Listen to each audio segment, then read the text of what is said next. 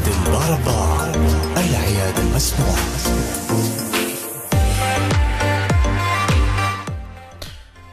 السلام عليكم ورحمة الله وبركاته. حياكم الله مستمعينا الكرام وأسعد الله أوقاتكم بكل خير دائما وأبدا ودائما في طبابة ألف على مدى ساعة حيث مد... آه، عيادتكم المسموعة الحديث بكل ما يهم صحتكم وسلامتكم وعافيتكم. الابتسامة المشرقة والضحكة الجذابة طبعا من أهم أسرار الجمال. لذا يهتم الرجال والنساء على حد سواء بأسنانهم ويسعون بشتى الطرق للحصول على أسنان جميلة براقة مصفوفة خالية من أي تشوهات وعيوب سواء كانت في اللون أو التركيب سواء مثل التسوس أو الكسور أو الاصفرار وما إلى ذلك.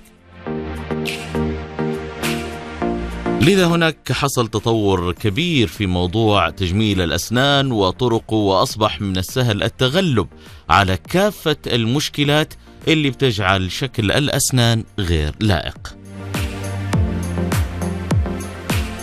ومهم جدا إنه إحنا نتعرف على هذه الطرق ونتعرف على الأشياء اللي تجعل الأسنان فعلا جميلة وتظهر بالشكل المطلوب واللائق.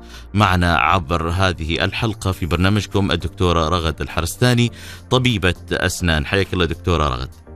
يا أهلا وسهلا فيك وشكرا لكم ولبرنامجكم. الله يسلمك دكتورة. يا أهلا. يا أهلا. آه، لو نتكلم لو بنقول عملية تجميل اسنان المقصود بالتجميل هنا دكتورة؟ آه، يعني تجميل الأسنان هو حقيقة كلمة واسعة كثير نعم. آه، تتضمن خلالها ما هو ي- إصلاح الشكل وإعادة الابتسامة الجذابة وما هو كمان العلاج لأي ضرر حاصل في الأسنان من فقدان من تكسر من تسوس من حتى آه، مشاكل في اللثة آه، من آه، سواء سببها كان التهابات أو دراجات أو أي شيء. نعم. هذا كله يندرج تحت عنوان اللي هو تجميل الأسنان. مهم. آه، نتيجته نهائيا نحصل على الابتسامة اللي هي آه، تعيد الثقة وتعيد ال- الجمال لل آه، للابتسا- لل- يعني للإنسان وتحسن الشكل عموما. نعم. فيعني لو بدنا نبدأ ب... لما ي- يبدأ الشخص بالاهتمام بشكل ابتسامته أو أسنانه. مم. حقيقة لازم نبدأ من آه، من من البداية من اللثة. من اللثة هي البداية. من اللثة نبدأ. آه. نشوف آه، وجود تراكم الجير على الأسنان. لو كان موجود لو في التهابات لازم أول شيء يبدأ الإنسان بالاهتمام بتنظيف ال- الجير من الأسنان. آه، تنظيف الجير طبعا يبدأ الموضوع دائما آه، ينصح المريض بالعناية ال- الدائمة واليومية بأسنانه. مم. طريقة تنظيف الأسنان بالفرشة. آه، بشكل يومي وخيط الأسنان واستعمال المضمضة. نعم. آه، طبعا لازم يكون في زيارات دورية لعيادة الأسنان كل ستة أشهر بحد أقصى أو يفضل كل أربع أشهر لتنظيف الجير. آه، وإزالة البلاك المتراكم على الأسنان. مهم. آه، وهيك يعني في أغلب الحالات يكون قضينا على مشاكل لسه لكن أكيد بيكون في طبعا بعض المرضى في عندهم مشاكل تانية آه، مؤثرة على جمال الأسنان آه، كمثل اللثة اللي هي بتكون طويلة زيادة محتاجة مثلا بعض عمليات تجميل أو اللثة المتصبغة اللي محتاجة عملية توريد للثة مثلا نعم. آه لو اهتمينا بموضوع اللثة ننتقل يعني بشكل متسلسل للأسنان نفسها. حنشوف التسوسات كعلاج نشوف الأسنان المفقودة كيف ممكن تتعوض. آه، التسوسات طبعا علاجها التجميلي انه حينزال التسوس وينحط مكانه حشوات الضوئية التجميلية البيض أولى أولى خطوات التجميل للأسنان هي إزالة أي تسوس موجود قبل البدء بأي شيء آخر.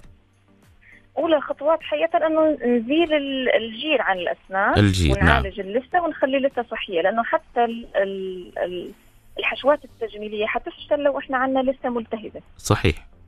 فال- فالبداية دائما والمفتاح من اللثة دائما أنه نعالجها أول شيء. بعدين ننطلق للتسوسات نشوف قبل ما الإنسان يبدأ بأي عمل تجميلي آخر تتعالج جميع التسوسات الموجوده بالحشوات التجميلية الضوئية البيضاء. نعم. آه بعدين آه بيتم النظر مثلا للأسنان المفقودة ممكن يتم علاجها سواء بجسور أو آه بزراعة الأسنان. آه، طبعا طب الأسنان تطور كثير فيعتبر الجسور شيء قديم. آه، فحاليا الأفضل دائما الاتجاه لزراعة الأسنان لتعويض ال- الفقدان. آه، طبعا مراحل العلاج لازم تستمر بترتيبها وبشكل منتظم و يعني يبدأ هالمريض بكل اهتمام من البداية للنهاية. بعد ما ينتهي العلاج ممكن النظر بقى للأشياء التجميلية. نعم. اللي هو لون الأسنان. آه، لو في فراغات حابب ال- المريض يسكرها. آه، فنبدأ بقى بالتفكير شو اللي ممكن نعمله لنحصل على الابتسامة البراقة. فلو كان مثلا المشكلة فقط في اصفرار الأسنان فنتجه للتبييض نعم. اللي هو تبييض الليزر أو تبييض اللي يتم في العيادة وفي أنواع طبعا مختلفة. في منها يتم في العيادة ويتم إكماله في البيت وفي منها أنواع في البيت فقط في المنزل. يعني حسب كل شخص ودرجة الاصفرار والحالة الأسنان وحساسيتها وهيك. نعم. نعم. و... ويوجد الحل الأخير اللي هو ال veneer veneer الأسنان أو العدسات اللاصقة. آه هي يعني أي مشكلة تجميلية في الأسنان باستطاعتها الآن حلها عن طريق فينير الأسنان. نعم. لو نتكلم دكتورة أيضا خلينا نرجع مرة ثانية لموضوع اللثة وقد يكون هناك في في بعضهم يعني تختلف درجات ألوان اللثة. هل هناك ألوان تعتبر غير صحية وألوان تكون فيها اللثة بيظهر أنها صحي. هذا من كمظهر عام آه يعني وكعلامات تظهر وتبين لنا أن هذه اللثة يعني في وضعها صحي أو لا؟ هلا ال- اللثة الصحية هي اللون الوردي الفاتح هو أي. اللثة الصحية اللي ما بيكون فيها انتفاخات. آه ما بيكون فيها نزيف. وأكثر شيء ممكن يبان مع ال- مع المريض أنه هل هو عنده مشاكل في اللثة أو لا هو لما ينظف أسنانه نعم. في ناس تشتكي أنه في نزيف لثه هاي أهم علامة لوجود التهاب اللثة. نعم. آه فالمظهر الصحي حقيقه هلا إحنا قلنا اللون الوردي لكن في بعض الأشخاص من مثلا أصحاب البشره السمراء بيكون اللون جاي على بني هذه تصبغات طبيعية موجودة باللثة ما هي دليل على التهاب. اللون الأحمر الغامق هو الدليل الالتهاب يعني مو هي التصبغات البني لا اللون الأحمر الغامق هي دليل الالتهاب مع وجود النزف. نعم.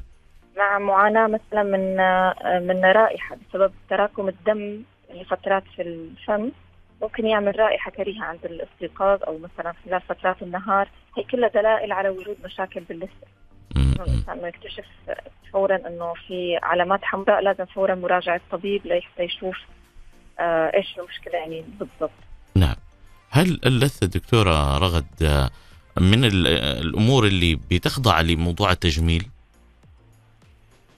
أكيد أكيد. اللثة هي يعني مفتاح الابتسامة. يعني إحنا ممكن نقعد نشتغل على الأسنان وعلى الفينير ونتكلف مبالغ طائلة وبالأخير ما نحصل على الابتسامة اللي إحنا بدنا إياها. أيوة. لأنه ممكن تكون م- منشأ المشكلة من اللثة أصلا. نعم. يعني مثلا ممكن تكون عندي ابتسامة لثوية ظاهر فيها جزء كبير من اللثة. صحيح. آه، ممكن تكون طول تكون هي الغالب على الابتسامة مثلا.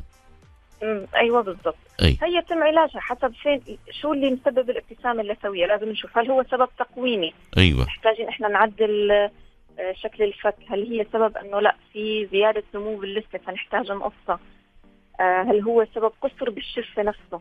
الشفة مثلا قصيرة فمو قادرة تغطي اللثة فممكن نعمل تمارين للثه أو عملية تجميل للثه. فنخليها تغطي فلازم يعني كل حالة تندرس على حدة ونشوف شو السبب إنه اللثه عاملة مشكلة بالابتسامة المعينة هي. نعم. آه، حنكمل معكم مستمعينا الكرام مع دكتورة رغد الحرستاني طبيبة الأسنان وما زال موضوعنا عن تجميل الأسنان للتواصل معنا. بإمكانكم آه، الاتصال معنا آه، على الهاتف 011 217 85 أو على 012 616 1100 فاصل خليكم معنا. ألف مع عادل باربار العيادة المسموعة يا هلا ومرحبا مستمعينا وبإمكانكم أيضا بإرسال رسائل نصية إلى برنامجنا لأي سؤال أو استفسار تحبوا توجهونه للدكتورة رغد الحرستاني طبيبة الأسنان والموضوع اللي بنناقشه اليوم عن تجميل الأسنان. للتواصل معنا عبر الرسائل النصية ال SMS اس تي سي 85 واحد صفر أربعة صفر موبايلي ستة ستة ثلاثة صفار واحد وأخيرا في زين سبعة صفر واحد ثلاثة واحد ثلاثة. ناخذ اتصال هاتفي مرحبا. ألو؟ يا هلا. يا هلا فيك كيف حالك؟ حياك الله. مين معنا؟ آه، معك حسان من الرياض هلا بك حسان تفضل. يا هلا فيك. الخير. آه، اسال الدكتوره إنه آه، في حال آه، أنا رحت أكثر من دكتور على أساس تبييض الأسنان. ووضحوا لي إنه أنت أسنانك من من داخلها نفسها اصفر بسبب إنه وقت حمل الوالدة فيني كانت تأخذ مضادات حيوية أعتقد. نعم. فبهذه الحالة هل في حل للسن ولا بس فقط إنه البسه من برا وأسوي له فينير والموضوع إنه- والسؤال الثاني إنه في حال إنه عندي أبناء هل راح ينتقل لهم الموضوع هذا؟ بما إنه أنا اللي أسناني من داخلها من اللب الداخلي صفراء أو لا. طيب واضح واضح يا دكتور السؤال؟ واضح. إن شاء الله. جاوبك الدكتور إن شاء الله. لك اسمع من رادي حسان قدامك العافية. طيب كان السؤال الأول عن تبييض الأسنان و... وذكر له إنه هي في أساسها وأصلها آه، صفراء. هلا بالنسبة للسؤال الأول أنه هو أسنانه صفراء بسبب أنه والدته أخذت مضادات فهي من الداخل لما بيكون هذا الشيء من الداخل آه، للأسف تبييض الأسنان ما بيعطي النتيجة المطلوبة. مم. فممكن يعيده كم مرة ويمكن ممكن يأثر شوي ممكن ما يلاحظ فرق كبير. فلا دائما الأفضل بهيك حالة لما يكون من أصل المنشأ السن مو سبب خارجي يعني كمثلا تصبغ خارجي على السن لا من الداخل لا يفضل دائما الاتجاه فورا للتلبيس نعم. بس هون السؤال هو شو شو نوع ال- التلبيس اللي حنختاره؟ على حسب درجة اللون. ممكن نتوجه إلى الفينير ممكن نتوجه إلى التيجان اللي هو التتويج الكامل للسن إنه يركب crown وليس فينير. مم. على حسب طبعا بعد الفحص وبعد نشوف درجة اللون موجودة لأنه الفينير مهما غطى لو اللون مائل لل- للبني حيكون صعب أنه الفينير يعطي النتيجة المطلوبة. فحنتوجه لل- للتاج الكامل. جميل. بخصوص السؤال الثاني هل ينتقل هذا اللون إلى أبنائه فيما بعد؟ آه لا ما حينتقل طالما إنه الأم ما أخذت نفس الفكرة نفس المضاد اللي سبب المشكلة عند الأب. أي. فإن شاء الله مع يعني هي مع اتباع اشارات الطبيب وال يعني انتباه على العلاجات أثناء الحمل بإذن الله لا ما في انتقال لهيك موضوع للابناء نعم نعم. آه كنا وقفنا دكتورة قبل الفاصل في موضوع اللثة وأنها تخضع لموضوع التجميل كون أنها مكون أساسي في الابتسامة والشكل ال- والمظهر ال- الابتسامة السليمة الصحيحة.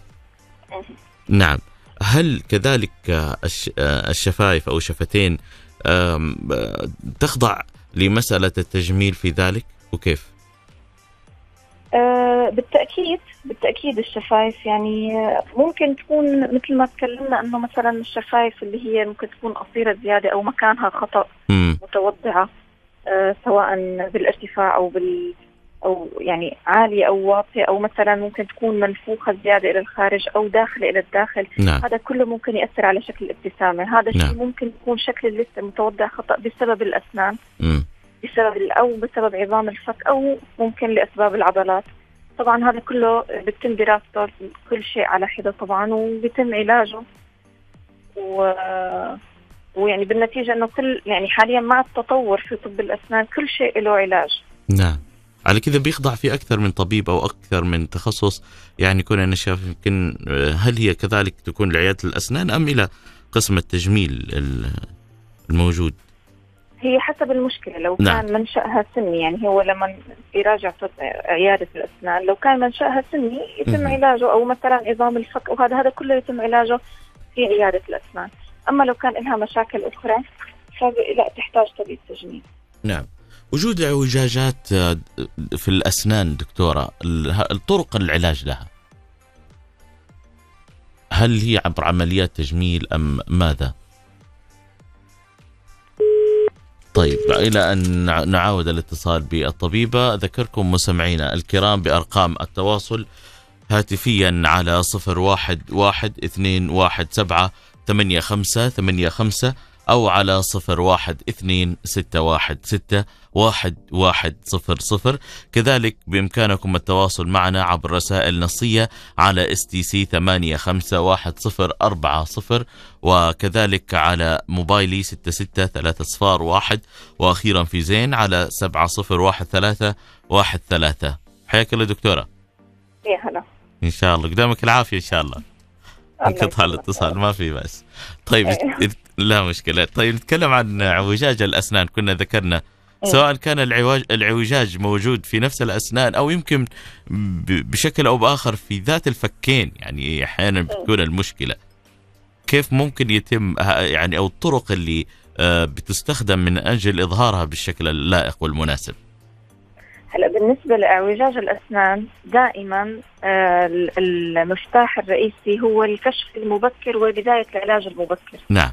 يعني هو سائد في المجتمع إنه اللي ما يبدأوا يراجعوا طبيب الأسنان إلا بعد عمر 18 سنة، للأسف. هيك بنكون فوتنا الفترة الذهبية اللي هي من 10 ل 12 مهم. نعم.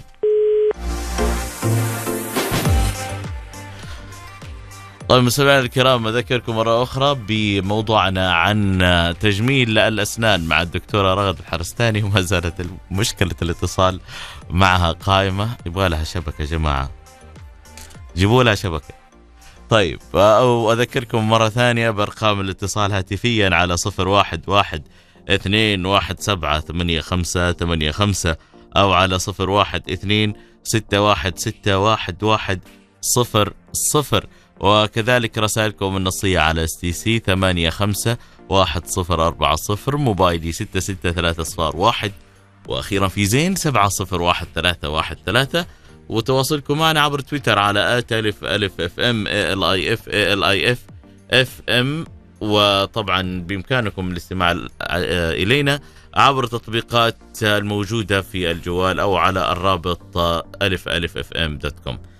عودا حميدا دكتورة رغد. آه الله يسلمك الله يسلمك إن شاء الله آه، معلش عذرا ما نعرف الشبكة أو شيء لعل خير إن شاء الله بإذن الله. آه فكنا بس عم نتكلم على موضوع التقويم كلمنا أيوة. على الكشف المبكر نعم. اللي هو مهم جدا يعتبر من عمر الفترة الذهبية من تسع سنوات إلى 12 سنة هي صحيح. الوقت المناسب للكشف عن مشاكل تقويم الأسنان لأنه العظم آه، بيكون الطفل في حالة نمو فهو أسهل. نعم. الوقت أنه يتم علاج أي مشاكل ناشئه عن الفك أو عن الأسنان التدارك يكون آه. جدا يستطيع السيطرة عليه. بالتأكيد إيه. فهو هذا ال- الوقت المناسب جدا حقيقه لعلاج تقويم الأسنان بينما على عمر 18 سنة بيكون العظم بدأ يفقد المرونة اللي هي موجودة بالطفولة أو فترة النمو اللي إحنا حابين نستغلها أيوه ف يعني بيكون آه، العلاج آه، يحتاج وقت أكثر وممكن النتائج ما تكون بنفس ال- اللي إحنا آه، بنتمناه لو كان لا في وقت مبكر أكثر نعم. ف. يعني يتم العلاج عن طريق التقويم في أنواع مختلفة للتقويم الآن في منها التقويم اللي هو البريسز العادية في التقويم الشفاف آه، في التقويم اللي هو آه، يعني ممكن يكون من خلف الأسنان في يعني عدة أنواع المتحرك في حسب كل حالة حسب حاجتها للعلاج حقيقه بيكون اختيار النوع من قبل طبيب التقويم هل لأنه لكل مشكلة معينة لها تقويم مناسب ولا كيف الاختيار؟ بالتأكيد كل مشكلة لها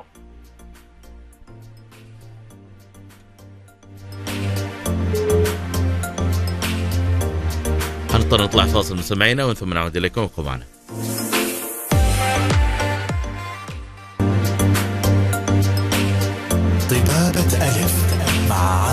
عادل ضربان العيادة المسموعة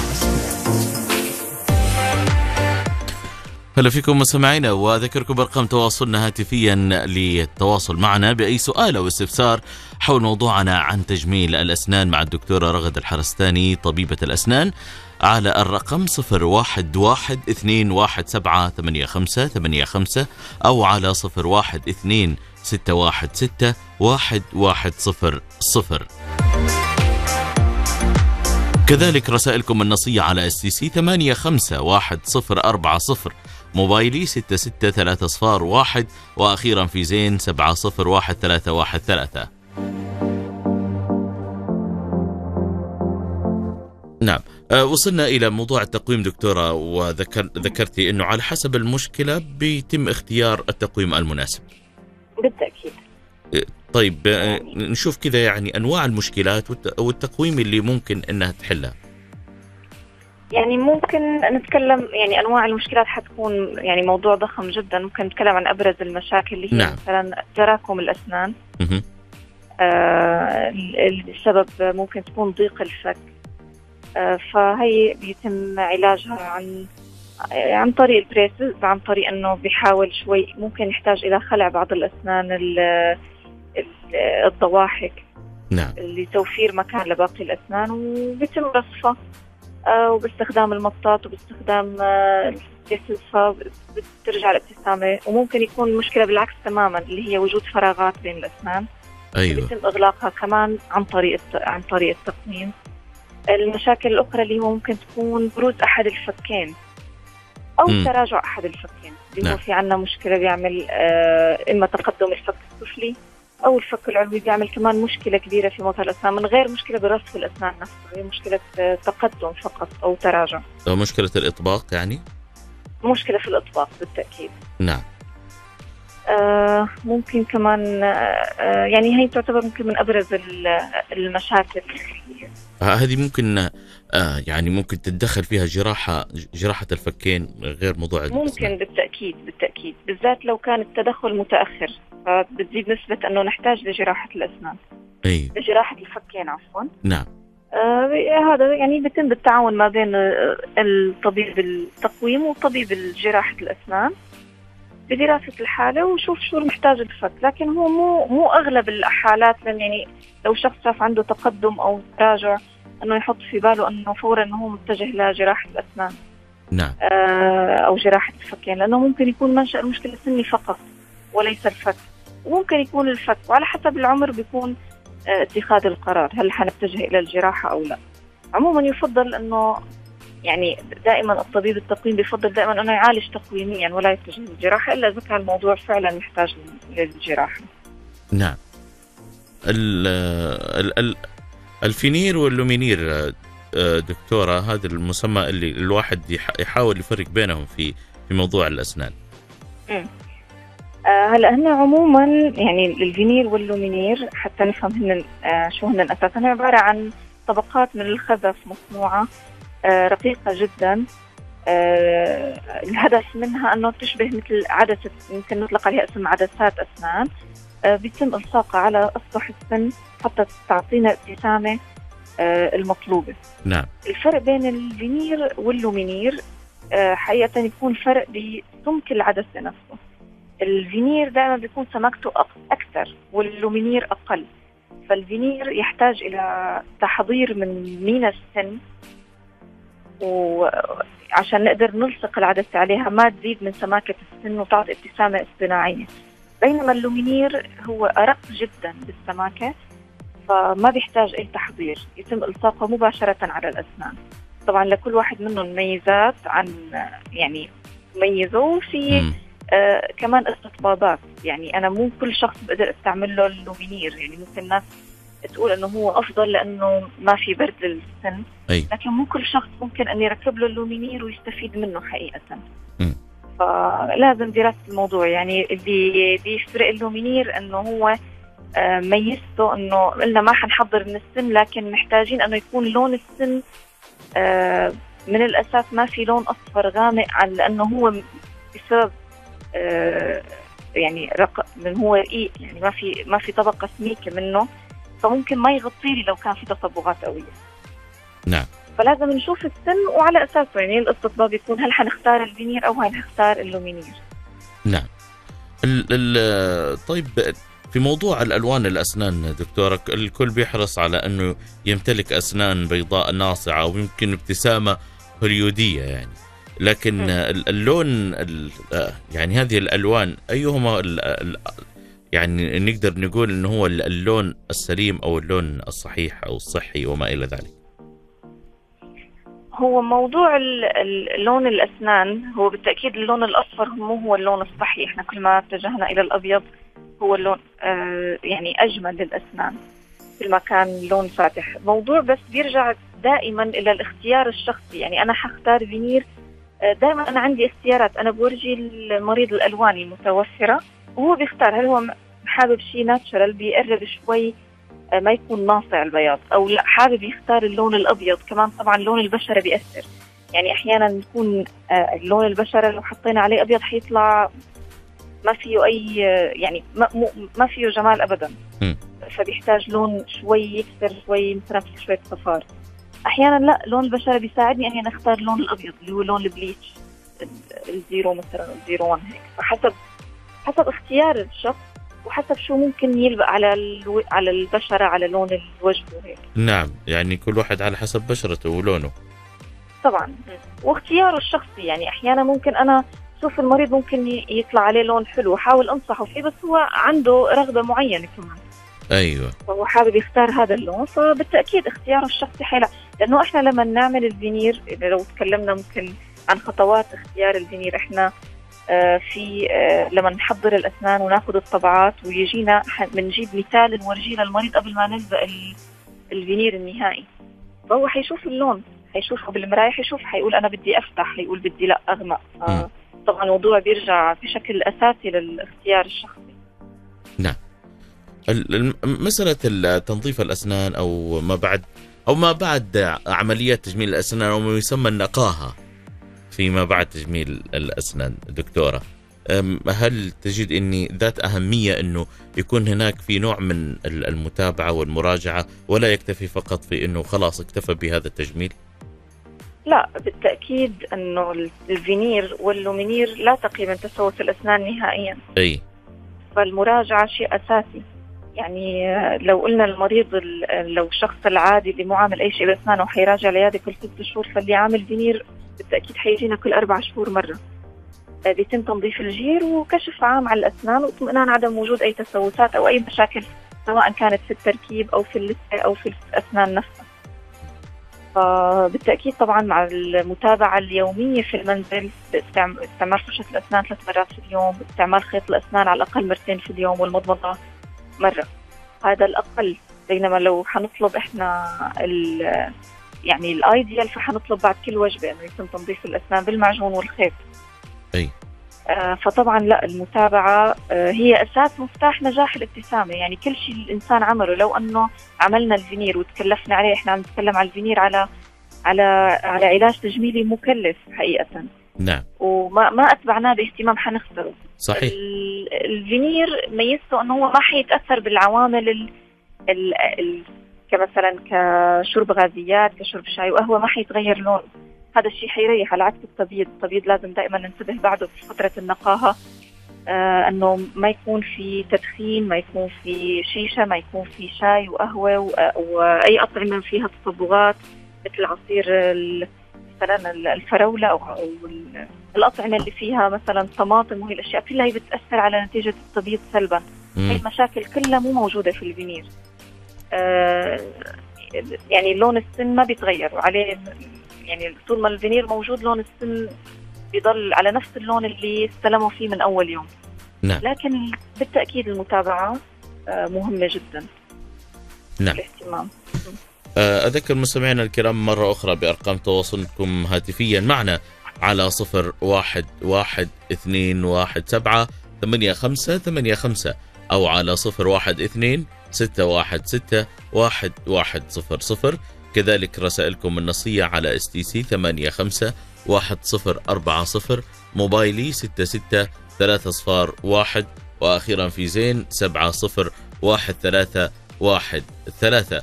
كذلك عبر حسابنا على تويتر على آت ألف ألف إف إم اي اف اف ام الموضوع تج...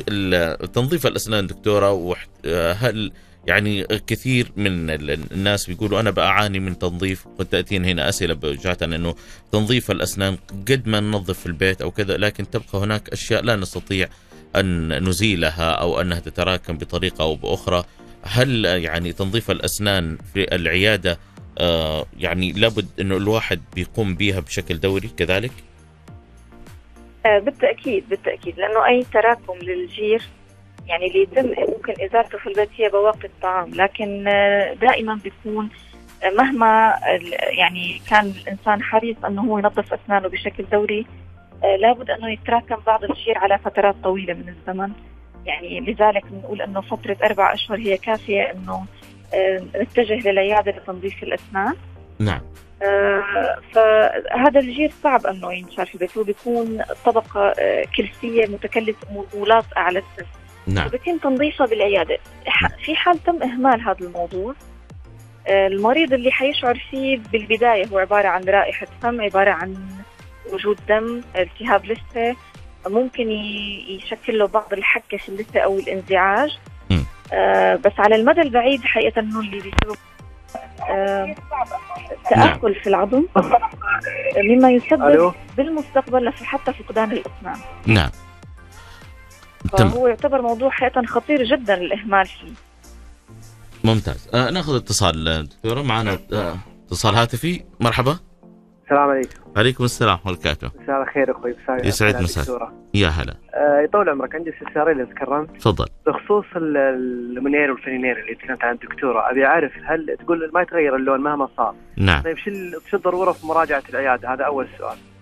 السؤال الثاني بالنسبة لتنظيف الأسنان. هل تنظيف الأسنان بالايدل قولهم آه، قال الدكتوره تقول بعد كل وجبة وبعد كل آه، بالخيط وبالفرشة وكذا. نعم. أنا سمعت قبل تكلموا قال إنه معجون الأسنان يأثر على تآكل الأسنان نفسها واستخدامه بكثرة يأثر على الطبقة حقت الأسنان. هل هذا الشيء صحيح أو لا؟ وشكرا جزيلا. يا حياك الله.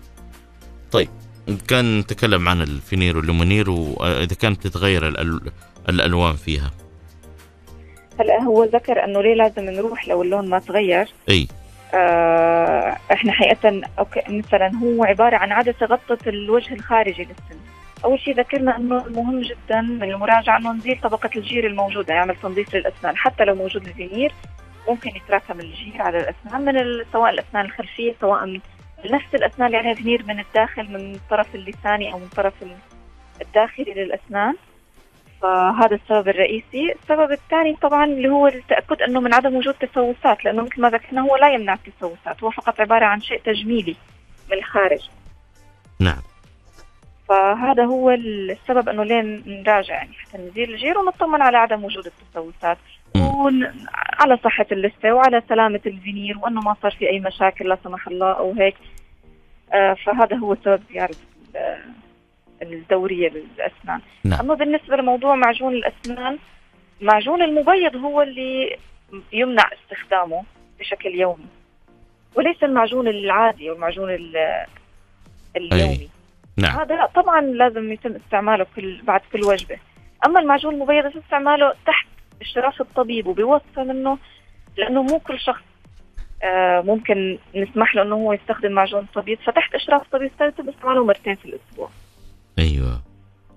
تمام ال- في سؤال وردني يقول السلام عليكم هل في تبييض للأسنان بدون فينير؟ آه، بالتأكيد بالتأكيد في طرق أخرى للتبييض اللي هو حنتكلم عن التبييض اللي يطلق عليه تبييض الليزر نعم. اللي هو عبارة عن آه، جلسة في العيادة مهم. يتم آه، وضع أول شيء مادة واقية للثه لحمايتها وبعدين يتم وضع مادة تبييض اللي هي الهيدروجين بيروكسيد على الأسنان وتفعيلها عن طريق آه، نوع من أنواع الليزر أو الاضاءات آه، فبتعمل على تبييض الأسنان. في منها طبعا أنواع مختلفة و, و... و... يعني متعددة موجودة في العيادات. آه، آه، تتم على حسب النوع. ممكن بجلسة واحدة على ساعة ممكن تتم على جلستين آه، على يومين على حسب النوع يعني المستخدم. نعم. هذا أيضا تبييض وفي تبييض اللي هو يكون نصه في المنزل نصه في العيادة عن طريق قوالب الأسنان تم صنعها بالعيادة وبنعطي للمريض تعليمات الاستخدام مع مواد التبييض بيستخدمها هو في المنزل. هي بيتم اعتمادها أكثر في الأسنان الحساسة. نتائجها بتكون آه، أبطأ في العيادة فورا نحصل على نتيجة مباشرة بالتبييض آه، التبييض المنزلي يكون أبطأ وممكن تكون درجة التبييض أقل شوي لكن هي مناسبة جدا للأسنان الحساسة. آه أيضا سؤال مساء الخير. آه سؤالي ضروري الله يسعدكم. آه طبعا لبست أسناني آه من أكثر من عشر شهور وإلى الآن كل ما أشرب موية أو عصير آه مرة توجعني. التلبيسه زيركون. هذا هو السؤال آه. دكتورة. نعم. آه هلا حسب نوع الألم اللي بيجي وحسب يعني هيك هيك حالة يعني تحتاج إلى كشف ولاشعه لمعرفه سبب الألم. هل هو منشأها نفس السن اللي تلبس أو منشأها من سن مجاور أو حتى مقابل أحيانا بيكون هو سبب الألم؟ آم، هل هو منشأها سني أو منشأها من أربطة السن؟ فحقيقة هذا محتاج كشف حتى نعرف آه، طبيعة الألم ومنشأه من فين وبيتم علاجه. نعم. على هذا الأساس. ال- الحشوات اللي تستخدم دكتورة يعني أن- الأنواع والأشياء الجديدة اللي صارت هي اللي تستخدم فيها. يعني الحشوات آه، حاليا آه، يعني سابقا كان في الحشوات اللي هي الاملجم اللي هي لونها فضي. حاليا عموما كومبوزيت حشوات. نعم. أذكركم مستمعينا الكرام إلى أن نعود التواصل مع الدكتورة رغد. راح طبعا آه، نأخذ اتصالاتكم على الأرقام صفر واحد واحد اثنين واحد سبعة ثمانية خمسة ثمانية خمسة أو على صفر واحد اثنين ستة واحد ستة واحد واحد صفر صفر. خلوكم معنا. طبابة ألف مع عادل ضرباع العيادة المسموع. عدنا إليكم مستمعينا الكرام وما زلنا آه، مع موضوعنا اللي هو تجميل الأسنان مع الدكتورة رغد الحرستاني. طبيبة الأسنان وبإمكانكم التواصل معنا لأي استفسار أو سؤال حول أي نقطة من النقاط اللي ترغبون الاستفهام حولها عن آه، تجميل الأسنان على STC 85 طبعا رسائل نصية على STC 851040 موبايلي 663 صفار واحد وأخيرا في زين 701313 كذلك اتصالكم الهاتفي على الرقم الأول 011 2 17 85 85 أو على 012 616 1100 كنا وصلنا معك دكتورة رغد عن الحشوات وما أدري إذا كان ما هي الأنسب أو الأفضل أن الواحد يستخدمها مع تطور آه، علم التجميل. آه، يعني مثل ما ذكرنا أنه حاليا آه، دائما نتجه إلى الحشوات التجميلية أكثر من حشوات ال amalgam، حشوات ال amalgam حاليا بدأت يعني آه، يتم عدم استعمالها بشكل مطلق تقريبا. فالحشوات يعني نعتمد إذا على ال composite أو في حشوات glass ionomer هي glass ionomer ممكن يتم استعمالها في الحشوات ال- ال- ال- الغميقة اللي واصلة تحت مستوى اللثة. آه، أما لو كنا فوق مستوى اللثه فدائما يتم الاتجاه إلى الحشوات ال composite. معنا اتصال هاتفي. مرحبا. السلام عليكم. وعليكم السلام ورحمة الله وبركاته. آه، إذاعة آه، ألف. يا أهلا فيك. مين معنا معك حمود. مبارك الله يحفظك. فاضل. حياك الله حمود. معك الدكتورة. تفضل. الله يسعدك. تفضل اسأل. آه، الله يسعدك. أنا عندي استفسارين الله يحفظك. أيوة. الاستفسار الأول آه، بين الأسنان كذا فيه آه، اللهم صل على محمد آه، آه، كذا صفار شوية وعندي ريحة تطلع بعض الأحيان من من. الفم يعني من آخر أقصى اللسان نعم حاب أستفسر هل لها علاج أو إيش المشكلة؟ صفار بين الأسنان ورائحة من آه، من داخل الفم آه آه أيوه آخر ال- آخر. اللسان تطلع كذا لما أسويها تنظيف آه، أحس إنها طالعة من يعني آخر شيء طيب السؤال الثاني؟ كيف؟ إذا في سؤال آخر؟ الله يسعدك شكرا لك يا أستاذ عادل بارب الله يحفظك. الله يحييك. يا هلا. طيب دكتور سمعتي سؤاله؟ إن شاء الله. إي نعم. آه، بالنسبة لاصفرار الأسنان في عدة أسباب ممكن تكون هي السبب. آه، السبب الرئيسي لاصفرار الأسنان هو ذكر أنه هو بيحاول ينظف أسنانه بعد الوجبات في عنا شرب المتكرر للشاي والقهوة ممكن يسبب صفار أسنان. فده بالمضمضة على الأقل. التدخين كمان يعتبر سبب رئيسي لاصفرار الأسنان. آه، شرب الحمضيات بشكل مباشر كمان على الأسنان. فدائما ننصح باستعمال آه، الشلمون أو المصاص في أثناء شرب الحمضيات. آه، عادة التنفس من الفم تسبب اصفرار الأسنان. آه، أمراض جفاف الفم تسبب لأنه بنفقد نسبة سواء بجفاف آه، أمراض جفاف الفم أو التنفس من الفم نفقد أثر اللعاب على الأسنان فمما يسبب طبعا اصفرار آه، كثرة استخدامات المضادات الحيوية مثل ما ذكر الأخ كمان أثناء الحمل الاتصال السابق كمان ممكن نعم. اصفرار آه، ممكن وراثة فقط مجرد وراثة سبب اصفرار أسنان وطبعا في سبب اللي هو التقدم في العمر بسبب ترقب في المينا فمما يبان معنا لون ال- العاج في الأسنان فهذا كلها أسباب لصفار الأسنان. طبعا مع تراكم الجير ممكن بعد تنظيف الأسنان وإزالة الجير يفرق كثير عليه لون أسنانه. بالنسبة للرائحة ممكن يكون سببها تراكم الجير ممكن يكون سببها خراج ممكن يكون سببها من المعدة. مم. فإحنا بنبدأ ب آه، يعني يعني إزالة الأسباب واحد واحد. أول شيء نبدأ بتنظيف الجير من الأسنان وعمل فحص كامل للأسنان. نشوف هل في خراجات هل في أي مشاكل آه، هل في تسوسات. آه، النخور نفسها بتخلي الأكل يتعبى في في النخر فبتسبب رائحة كريهة للفم. فبعد علاج كل الأسباب اللي ممكن تكون سموية ممكن وما وما زالت الرائحة موجودة نتجه للمعدة فبنوجهه لطبيب باطنة وممكن يشوف مشاكل في المعدة. نعم. بس 90% بتكون مشاكل منشأها من الفم. نعم. سواء الجير أو خراجات أو تسوسات نعم طيب تمام. آه، معنا اتصال هاتفي؟ السلام عليكم. وعليكم السلام. آه، دعيتك المرة الثانية اتصل بس نسيت سؤال قبل شوي للدكتورة. أي. آه، بخصوص اللي هو افضل أنواع التلبيسات لو قدر الله الإنسان احتاج يلبس سنه افضل أنواع التلبيسات لأن في أنواع متعددة وما ندري إيش الافضل تمام. فبس وشكرا جزيلا يا هلا فيك. طيب لعله هذا مدخل إلى موضوع التلبيسات دكتورة وإذا إذا كان في أي تفصيل فيها. هلا هو يعني حيتم اختيار التلبيس آه، في عدة عوامل. لكل نعم. شخص هو ما هو مناسب له. يعني ممكن مناسب آه، لشخص لا يناسب تماما الشخص اللي جنبه. فهذا يعني في عدة عوامل لازم نشوفها. نبدأ أولا آه، اختيارها بالنسبة للتجميل السن الأمامي نختار له آم، أنواع تكون جماليا أفضل ممكن تكون ميكانيكيا أضعف. فمثلا هي قوية ما حتنكسر ولا أي شيء لكن مناسبة للسن الأمامي. ممكن نتجه للإيمان. للأسنان الخلفية نتجه للزركون. الزركون طبعا جميل ويمكن استعماله في الأمامي. لكن ممكن الإيماكس يعطيني جمال أفضل شفافية أفضل للسن. الزركون يعطيني قوة وصلابة أكثر لأستعمله بالخلفي. فإحنا هذا يتحكم فينا مكان وموقع السن. ممكن نستعمل الخزف الملبس على معدن في الخلفي. في الأمامي يعطيني جمال ضعيف جدا فاتجنبه في الأسنان الأمامية.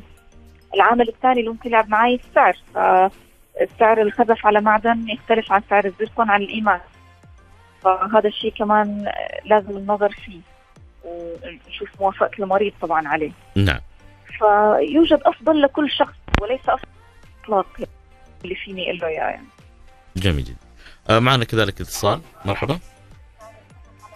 يا هلا. يا هلا. حياك الله. عادل كيف حال يا أخي؟ يا هلا أخوي كمال حياك الله. أخبارك أنت؟ طيب؟ تمام تمام يا. سيدي. الله يعافيك ويخليك يا رب. سلمك الله يا أخي الله يسلمك. آمين آمين يا رب. إيه تفضل. آه والله بسأل يا أخي من الدكتور الحقيقة بستفسر منها على أساس إنه يعني آخر مرحلة مثلا لغلع الضوء يعني متى ما هي المرحلة اللي ممكن خارج يعني يعني بعد استفدت كل المعالجات بالنسبة للضوء يعني ما هي المرحلة ال- الأخيرة اللي غلع الضرس يعني. المرحلة الأخيرة لقلع الضرس آه. بعد استنفاذ كل ال بعد الأشياء كلها كل المعالجات. طيب. وعصبه وإلى آخره. طيب طيب. تجاوبك الدكتورة إن شاء الله. كذا يا هل حياك الله. كذلك معنا اتصال. مرحبا. السلام عليكم. وعليكم السلام ورحمة الله وبركاته. مساكم الله بالنور الله يسعدكم. جميعا يا رب يا هلا. تفضل أخوي. آه بس أبغى أسأل الدكتورة هذه يعني لها مركز في جدة شيء نقدر نراجعها فيه يعني. طيب حتقول الدكتورة المركز اللي هي فيه. طيب طيب يا هلا حياك الله. طيب دكتورة كان أخونا كمال بيقول المرحلة على قولهم آخر الداء الكي يعني ال- والقلع قلع الضرس. متى يقرر الطبيب أنه خلاص لابد نقلع الضرس؟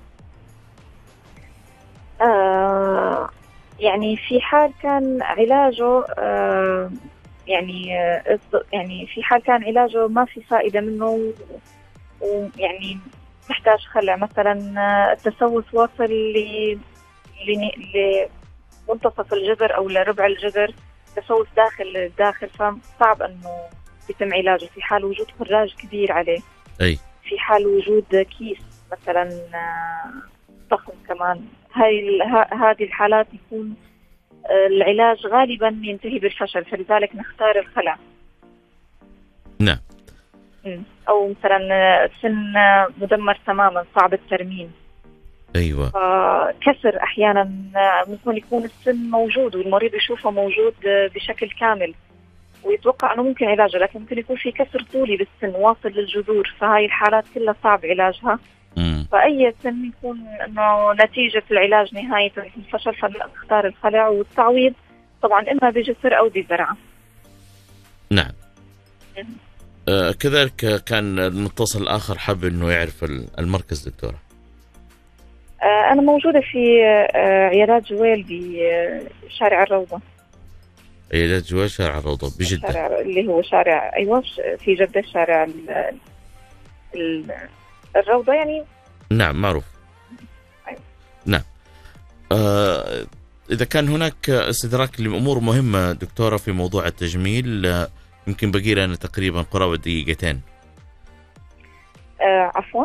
يقول إذا كنت إذا كان في استدراك لديك في أي نقطة مهمة لابد يحرص عليها كل مستمع أو مستمعة في مسألة تجميل الأسنان. يعني عندنا قريبة الد- الدقيقتين أمم. يعني حنرجع أكيد نأكد على أهمية غسل الأسنان بشكل يومي ونأكد على أهمية مراجعة طبيب الأسنان واتباع العادات السليمة للحفاظ على صحة الأسنان. تجنب أي شيء ممكن يؤدي إلى ضرر الأسنان. آه مثل ما ذكرنا مثلا العادات السيئة اللي هي شرب الغازيات التدخين شرب الحمضيات بشكل مباشر. استعمال الأسنان لفتح العلب لقضم الأقلام.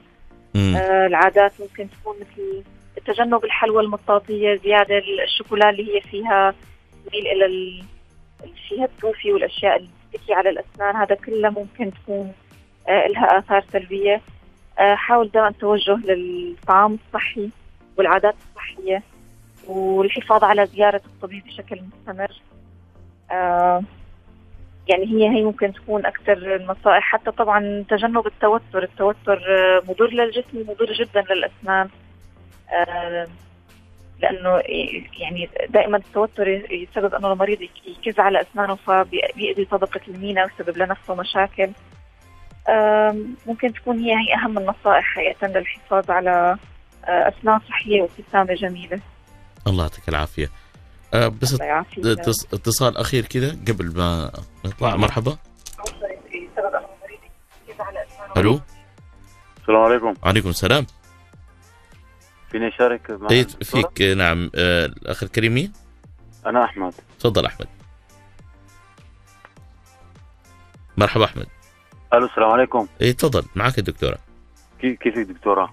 الله يعطيك العافية. يا أهلا وسهلا. الله يعافيك يا رب. أهلا الله يسلمك. دكتورة أنا في عندي اللهم صل على النبي. عندي مشكلة كثير كبيرة بأسناني.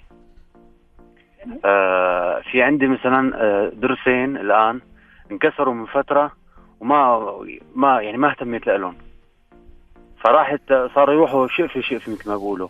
مم. فهلأ الآن ما ما يعني ما ما مبين شيء منهم. واحيانا بيوجعوني مثل بيطلع خراج أو شيء. بحس نعم. إنه في خراج أو شيء فبضايقوني كثير فبدك النصيحة آه، كيف بيتخلص منهم إيه وفي شغلة ثانية دكتورة. نعم. آه، في عندي اسناني الأمامية فوق وتحت. ع- آه، من فترة مريت لعند الدكتور آه، كانوا عم عم ينخروا من على على الطرف عم يصير لونهم مثل اسود يعني. أي. فمريت على الدكتور فحفر لي منهم أو نظف لي فيهم وحط لي مثل حشوة هيك. فالحشوه عم تروح وعم يزيد هذا السواد.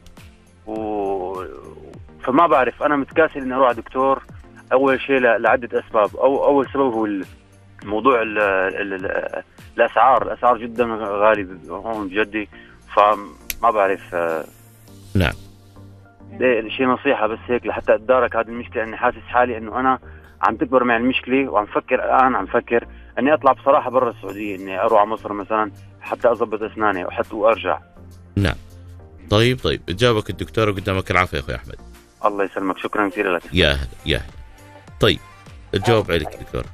يعني بالنسبة للأسنان الخلفية فبالتأكيد بالتأكيد تركة على هذا الحال حيسبب خراجات نعم. الخراج ممكن يعمل آه، ألم بسيط وممكن فجأة أنه يزيد الألم لدرجة ما يقدر ينام منه وممكن حتى يعمل له ارتفاع حرارة فبيعمل مشاكل كتير. صعب جدا إهمال هذا النوع من المشاكل لأنه فجأة ممكن تفاقم الوضع. نعم. فلازم مباشرة يتوجه لعلاج هذا الموضوع. حاليا اللي هو حسب ما فهمت باقي عنده جذور فقط السن هي الموجودة واللي عاملة فراج فلازم صورة أشعة لما تبقى من السن آه، مع الفحص. لنشوف هل هو قابل للعلاج. إذا كان قابل للعلاج فيتم علاج آه، أعصاب السن مع علاج الخراج ويتركب وتد وتاج على السن. نعم. أما إذا كان وضع الجذور سيء جدا فبنتجه للخلع والتعويض سواء بجسر أو بزراعة. أما بالنسبة للأسنان الأمامية ذكر أنه رجع اللون الأسود وال آه، والحشوات عم يفقدها يبقى التسوق آه، عاد مرة أخرى سواء بسبب عدم التنظيف الجيد أو عدم إتقان الحشوة. يعني ما حنقدر نعرف آه، سبب ممكن يكون سبب إنه بس ما عرف ينظف أسنانه بشكل جيد فعاد التسوق مرة أخرى حو- حوالي الحشوة. فبالتأكيد لازم إزالة هي الحشوات تنظيف الأسنان نعم. وفي حال إهمالها حنتجه إلى مشاكل أكبر حيصير محتاج علاج عصب لهي الأسنان فلازم آه، يعني يهتم بالموضوع ويشوف آه، طبيب بأقرب فرصة نعم لا يهمل الموضوع بالتأكيد. نعم أشكرك دكتورة الله يعطيك العافية على هالمعلومات الوافية والمهمة جدا من إظهار يعافيك. أسناننا بالشكل اللائق شكرا جزيلا لكم يعطيكم ألف عافية. الله يعافيكم. كانت معنا الدكتورة رغد الحرستاني طبيبة الأسنان وهذه الحلقة راح تكون مسجلة وموجودة على قناة الإذاعة في اليوتيوب.